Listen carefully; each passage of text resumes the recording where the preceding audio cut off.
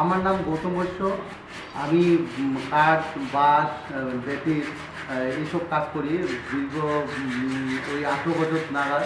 এবং আমার বাবা মাও এই কাজের উপর যুক্ত। যে আগে যেরকম চলতো, দু হাজার দশে এগারো, তেরোয় এরকম চলতো, ওর থেকে একটু হলেও অনেকটা মানে এগিয়ে আছি। কারণ আগে যে কাজগুলো পেতাম মানে পেতাম না ওরকমভাবে সেরকম অর্ডার হতো না। এখন অনেকভাবে অর্ডার হয়, এখান থেকে হয়, এখান থেকেও হয় এবং অনেক কলকাতা থেকে লোক আসতেছে গ্রামে। আমাদের গ্রামে আগে তো আসতোই না, এখন তো অনেক ধরনের লোক আসতেছে, দেখতেছে কাজ কাজ কিনে নিয়ে যাচ্ছে আমাদের হাতের কাজ। মানে আগে তো যেতামই না, শুধু কলকাতা আর শিলিগুড়ি এসব করতাম।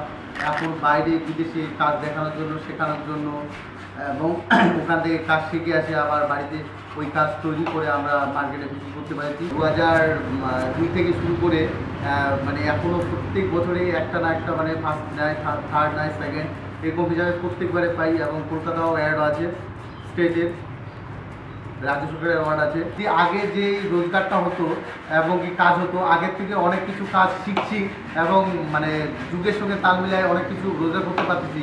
আগে দশ টাকা রোজগার করতাম, এখন ওইটা একশো টাকা চলে এসছে।